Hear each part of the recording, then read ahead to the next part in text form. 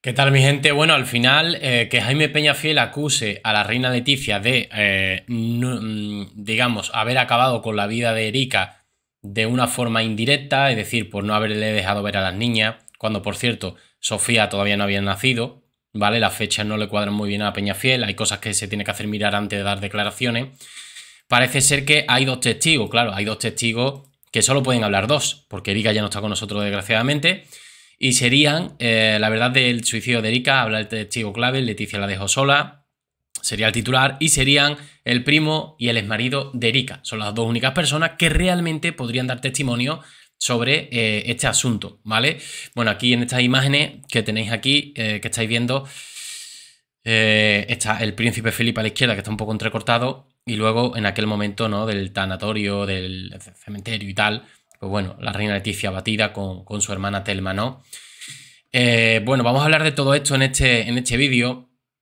Sigo investigando una cosita que le dije ayer a, Laura Rodríguez. Sigo investigando una cosita y cuando lo tenga matizado, ¿vale? Haré otro vídeo al respecto. Mientras tanto, mm, prefiero no ampliar información hasta estar seguro de lo que comenté ayer. Dicho esto, Jaime Peñafiel ha vuelto a poner de actualidad un tema eh, que hace casi 20 años que se arrastra, el suicidio de Erika Ortiz. Hermana de la reina Leticia, el drama supuso un punto de inflexión en la vida de Leticia. Sucedió el 7 de febrero de 2007, el novio de Erika, Roberto García, un cámara de la productora en Globo Media, lo encontró eh, bueno, sin vida en su cama en el piso de soltera de Leticia, donde entonces residía su hermana pequeña. Erika se había separado hacía un año de su compañero, el escultor Antonio Vigo, padre de su única hija, Carla, eh, prima mayor de Leonor, y que bueno, ya hemos visto, ya hemos visto en, algunos eh, fotocall y bueno, más o menos es eh, influencer, creo que es, ¿no? Bueno, Erika no puede más, no pudo más, sufría depresión y murió por una ingesta masiva de barbitúrico, de estupefacientes, bueno, de insansiolíticos y demás, según las crónicas de la época. dejaba una hija, Carla de 6 años, Erika Ortiz Rocasolano, había estudiado Bellas Artes y trabajaba de directora de arte y decoradora eh, para la productora de Emilio Aragón. Fijaros, ¿no? Haciendo programas para la sexta, había pedido la baja por depresión. Bueno, aquí la tenemos. Eh, Peñafiel ahora, 17 años después, afirma en YouTube que a Erika le causó la depresión haber donado sus óvulos a Leticia para tener a sus dos hijas, la princesa Leonor y la infanta Sofía, y después verse apartada por su hermana.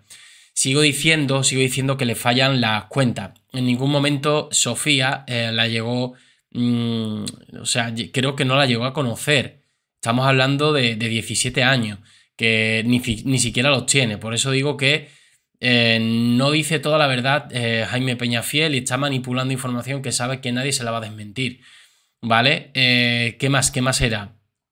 El tema de la donación de óvulos estoy investigando porque parece ser, parece ser que la congelación de óvulos no lo hizo para Leticia, sino para sí misma porque tuvo algún tipo de problema médico. No sé si es que estuvo enferma, si estuvo mal o algo así, según me cuentan, pero tengo que corroborarlo, ¿vale? Soy claro con vosotros. Entonces, la realidad es esa, que a lo mejor esos óvulos eh, que le dio a su hermana fue porque los realmente los tenía para ella, pero evidentemente, pues como hermana, mira, pues, pues te, dono esos dos óvulos para, para que tú puedas tener tus hijas, pero en ningún momento eh, nadie nunca le ha acusado, en 17 años, le ha acusado de. La ha acusado a la reina Leticia de, esta cosa tan grave que, está haciendo Jaime Peñafiel, ¿no?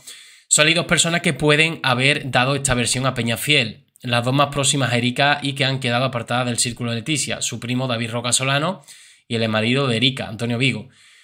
Incluso puede que mm, Peñafiel, de oídas de por aquí y por allí, se haya montado su película y haya contado algo que no es. También os digo, es que ya vemos que la objetividad de Jaime Peñafiel con Leticia eh, abunda por su ausencia, ¿no? Bueno, los dos eh, son célebres por haber enfrentado, bueno, nos hemos metido sin querer las camisetas que están muy bien y muy chulas. bueno, como decía, son dos célebres eh, por haberse enfrentado a los Borbones. David con el libro Adiós Princesa, donde culpa a Leticia del suicidio de Erika, y Antonio, que en el funeral de Erika se encaró a Juan Carlos a grito y le escupió. Fijar hasta qué punto, ¿no? En el funeral de Erika se, encaró a Juan Carlos eh, a gritos y le escupió. Vosotros, vosotros tenéis la culpa, tú tienes la culpa, hijo de P, eh, vosotros la habéis matado.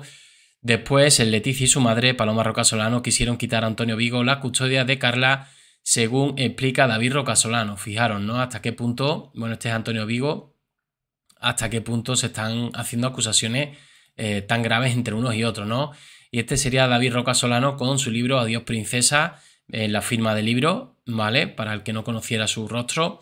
Atribuir el tema de los óvulos al suicidio de Erika es temerario por parte de Peñafiel, ya que David Rocasolano no lo explicó así en su libro. Es decir, que realmente mm, ya incluso yo quitaría a David Rocasolano como, como posible filtrador. Primer punto. Y segundo punto, si David Rocasolano tuviera esa información, ¿creéis que se le iba a regalar a Jaime Peñafiel cuando él escribe el libro? y además no iba a dar el consentimiento, que es lo que Jaime Peñafiel hubiera querido, para dar más eh, credibilidad a su relato. Lo dudo, ¿no? Bueno, un libro que hoy en día sigue siendo la única fuente fiable de aquel drama. En Blau ha cedido a las páginas de Adiós Princesa que tratan del suicidio de Erika y esta es la verdadera historia de aquella desgracia. La hermana pequeña siempre había tenido problemas económicos, estudiante de bellas artes, casada con un escultor que entonces no vendía. Ella trabajó vendiendo libros puerta a puerta acabaron vendiendo, viviendo, perdón, en un caserón sin agua caliente en Asturias con la pequeña Carla. Leticia le llenaba la nevera y la despensa. Eh, seis meses antes de morir Erika, cuando tenía un sueldo digno en Globo Media y Antonio recibía becas y encargos para vivir de la cultura, se separaron. El detonante fue cuando él recibió una beca en Uruguay y Erika se negó a instalarse allí con la pequeña Carla. Los años de precariedad económica y de malas decisiones habían eh, erosionado la pareja y ahora eh, viene la parte imputable a eh, Leticia. Además, la presión mediática se le hacía insoportable a Erika y había eh, agriado su carácter. Tras esa irascibilidad se agazapaba una profunda depresión que no supimos ver. Es lo único que ha dicho o que se le ha acusado por parte del primo David Rocasolano a la reina Leticia, que esa presión mediática le había venido en un momento duro, se le había juntado todo problemas económicos, de separación y tal, con una niña pequeña que se había quedado sola en Asturias, no quería irse a Uruguay con, con su marido, y evidentemente, pues eh, ahí se le junta todo. Pero no la está acusando de que la reina Leticia tuviera la culpa, no, la presión mediática porque se ha hecho reina, ¿qué culpa tenemos? Si yo me hago súper famoso y a mi hermano lo persiguen, pues yo no tengo la culpa. Directamente no tengo la culpa, indirectamente sí, pero estoy haciendo mi vida. Si me hago rey, me hago famoso, me hago futbolista, me hago lo que sea, pues yo no tengo la culpa tampoco, ¿no? Al final es una decisión que, que, viene un poco sobrellevada y, ya está, ¿no? Bueno, eh, el primo sabe cómo fue eh, todo en primera persona, se lo explicó la difunta. Erika estaba más insegura, más débil, más triste. Me dijo que la situación se salía de madre. Imaginé que por la, presión mediática sobre ella y su hija, tras haberse separado de Antonio, me han dejado sola, David, me siento sola. Se refería a Leticia y son palabras textuales de Erika antes de fallecer. ¿eh?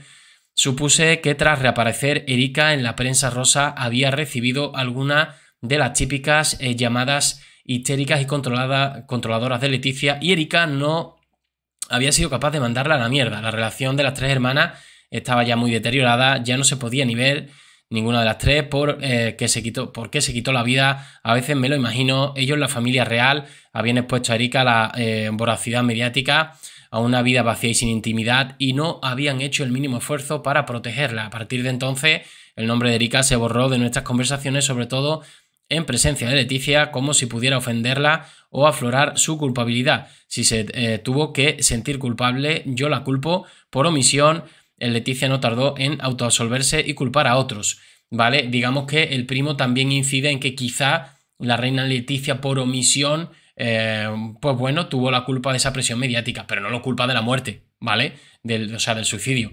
Quiero dejarlo claro, ¿no? Esta es la verdadera causa de la muerte de Erika, ni óvulos, ni infertilidades, ni Peñafiel. La familia ha hablado, que el resto calle. Yo me quedaría más con, este, con, con esta, ¿no? Pero también os digo una cosa, nos falta la versión de Leticia yo siempre digo lo mismo, si algo he aprendido en esto es que una versión no me sirve. Tenemos dos, la de Peñafiel y la, de, y la del primo, pero la otra parte, en este caso la reina Leticia, yo no la tengo. Con lo cual me sigue faltando esa parte porque la gente cuenta las cosas a su manera. Como sabéis, el primo no se lleva bien con ella ya, con lo cual eh, no tienen relación, con lo cual eh, me imagino que él habrá adornado un poquito la historia a, su, a su em, conveniencia, ¿no? Mi gente, nos vemos en el siguiente vídeo, aquí mis redes sociales, nos vemos en el siguiente. Un saludo.